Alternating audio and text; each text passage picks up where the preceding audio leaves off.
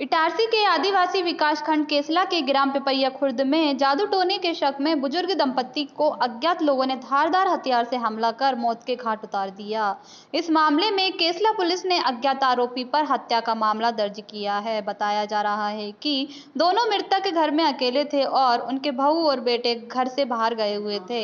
शुक्रवार की शाम जब बेटे बहू घर आए, तब उनके बेटा राय सिंह ने पिता पन्नालाल उइके का सब आँगन और माँ कस्तूरी बाई का सब घर के पीछे लहूलुहान अवस्था में देखा। इस घटना की जानकारी मृतक के बेटे ने केसला पुलिस को दी। घटनास्थल पर पुलिस ने पहुंचकर दोनों शवों को पंचनामा तैयार कर शवों को पोस्टमार्टम के लिए भेजा और पुलिस मामले की जाँच में जुट गई। प्राप्त पिपरिया खुर्द थाना क्षेत्र केसला में एक दंपति जो है, उम्र दराज दंपति करीब 60 साल की उम्र के उनका शव वहाँ मिला।